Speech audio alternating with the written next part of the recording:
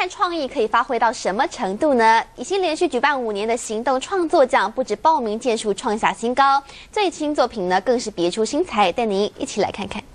哎，你的电话响了！哎喂喂，哎，你的电话真的响了！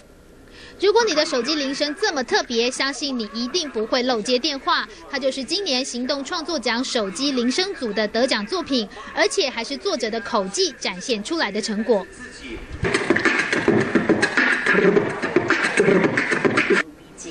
创作奖连续举办五年，参加件数逼近五万件，评审说越来越专业，让他们超难评。错，就是大家制作的完成度非常非常高，哦，就是说整个在制作水准上，可能去年我们真的有提醒这一部分，然后今年普遍来的制作水准都非常好。我就是利用同音的或者是呃同义的那个字啊，呃来做多重的解释，那这样呢，呃他们就可以达到那个很呃很很少的字，然后说出很很俏皮的那个意思来。其中文学创作类更看得出时事趋势。